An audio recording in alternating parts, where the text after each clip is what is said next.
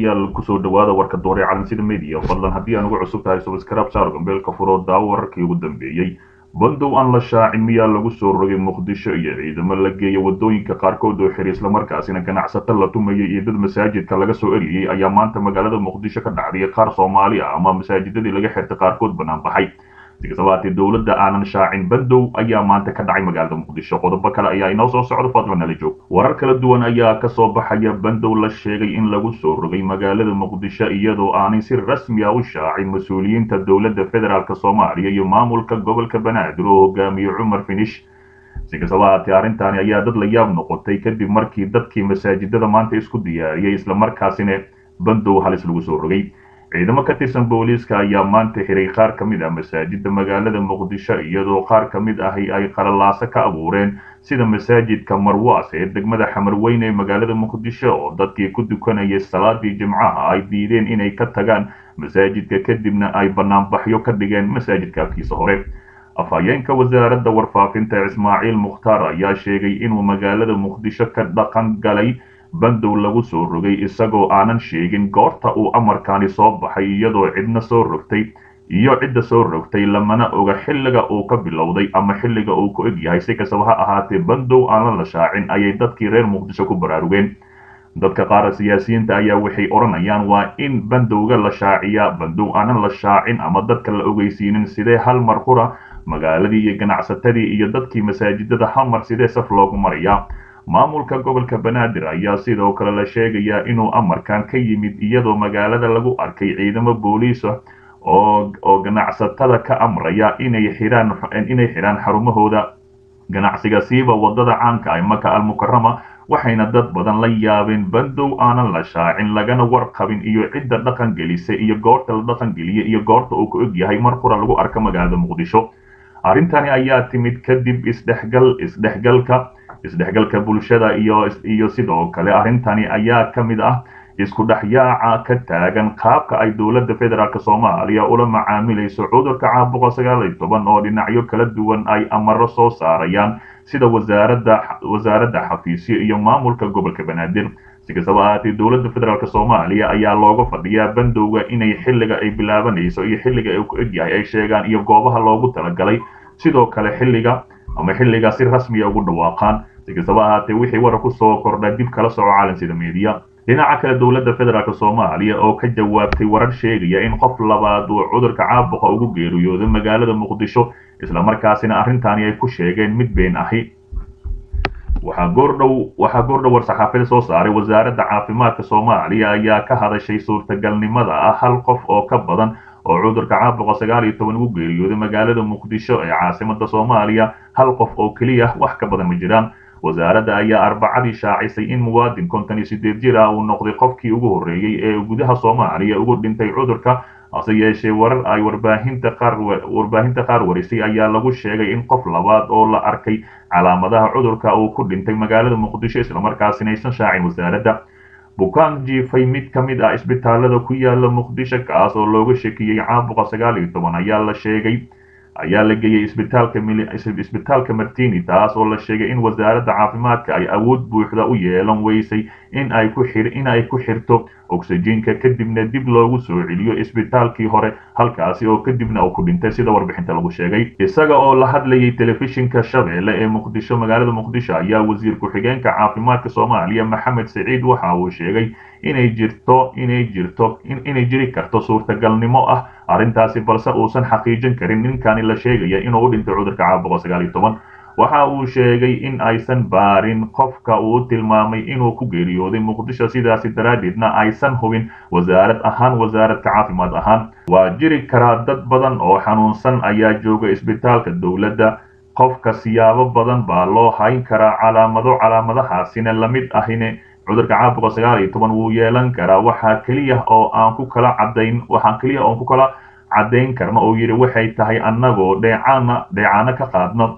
Shaybaarka la geeyo oo la ogaado ayuu yidhi. Qofkaasi inuu cudurkaasi qabo wuxuu raaciyey annaga kiiska nooma diiwaan gashna oo lama oga ayuu yidhi oo laab ahaan ma aanan caddayn karno taasi macnaheedu ma ahan inuusan u dhiman ma dhihi karno ayuu yidhi. Ilaahay baa og laakiin xaqiiqda jirtaa waxay tahay cudurkani sidaasi sidaa aragteen wuu ka jirtaa wuu ka jiraa waddankayna waa laga yaabaa inuu cudurkaas u dhinta hase ahaatee ka wasaarad ahaan ma xaqiijin karno ayuu yidhi. Dhanka kale wasiir ku-xigeenka ayaa qiray inay hooseyso inay si hooseysa awoodda oo isbitaalka martini oo loo loo asteeyey goobta karantiilka ee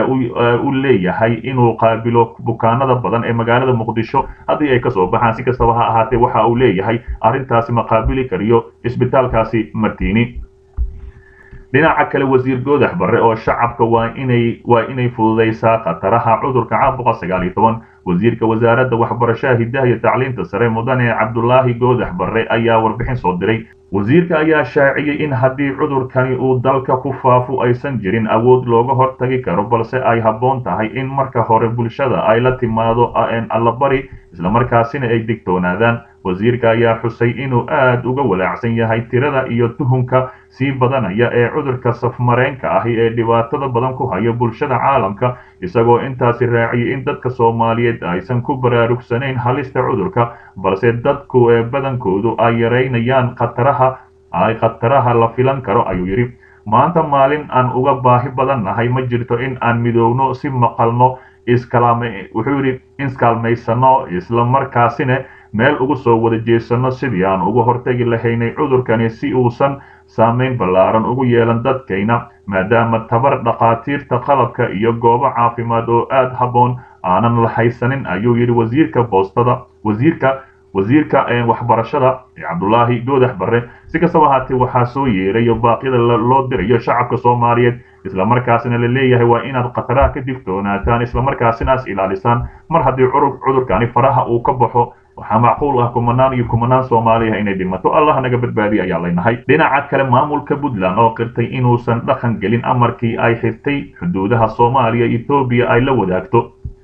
Wasiirka warfaafinta puntland cali xasan axmed ee sabarey oo saxaafadda ka hor akhriyay warbixinta guddiga puntland uu qaabilsan ka hortagga cudurka caabuqa sagaal toban ayaa xaqiijiyey inuu dhaqan gelin inuu dhaqan geli waayey amarkii puntland ku xirtay xuduudda dhanka somalilan iyo etoobiya islamarkaasina gebi ahaanba weli si caadi u socdo. Wasiirka ayaa sheegay in laamiga dheer ee isku xidha deegaanada puntland iyo somalilan uu si caadiya u furan yahay islamarkaasina gaadiidka kala duwan ay maalinle u marayaan taasina uu isaga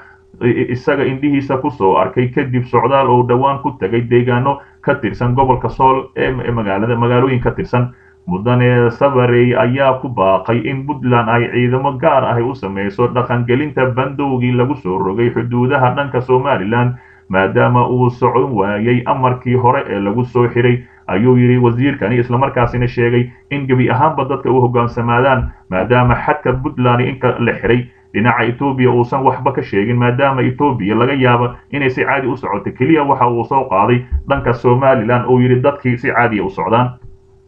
warar ay sidoo kale warar ayaa sidoo kale waxa ay sheegayaan in xuduudda puntland la wadaagto dhanka etoobiya oo isna weli furan yahay oo uusan ka dhaqangelin amarkii xukuumadda puntland uu ku riday xuduudka si looga hortago faafinta cudurka caabuqa sagaal iyo toban. Wasiirkani warfaafinta ayaana sheegin in xadkaasi weli uu furan yahay maadaama etoobiya uusan waxba ka sheegi karin. Danaha etoobiyana ay weli u baahan tahay ayaa la leeyahay si kastaba ha ahaatee keliya waxa uu soo hadal qaaday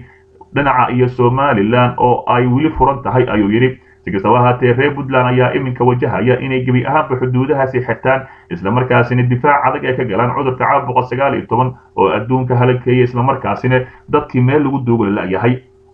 magaalada new york ee dalkaasi maraykanka ayaa waxaa la yidhi shan kun oo qofood ayaa maalmo gudahood ku dhimatay islamarkaasina qabuurihii ayaa la la'yahay ama bannaan meel wax lagu duugay islamarkaasina dowladda ayay noqotay inay meelo kaloo waaweyna gadda iibiso islamarkaasina la burburiyo dadkii lagu duugo maadaama maalin kasta ku dhowaad laba afar iyo labaatan saac waa maalin qur ah ama laba iyo toban saac saddex iyo toban saac kastaba ay dhimanayaan kun iyo sagaal boqol ku dhowaad kun iyo toddoba boqol halkaasi ku nafbahaya si kastaba ahaatee maraykanka ayaa aad u sii kacay oo ku dhow half milyan qofood oo cudurkani soo ritay islamarkaana maare u la'yihiin dalkaasi maraykanka si kastaba ahaatee xaaladani ayaa iminka ka sii dartay adduunka intiisa kale. Walow africa ay aad ugu yar tahay dhankayna soomaaliyana aad ugu yar tahay. Ilaahay ayaa ka baryaynaa inuu faafidiisa dalka dalkayna soomaaliya uu ka badbaadiyo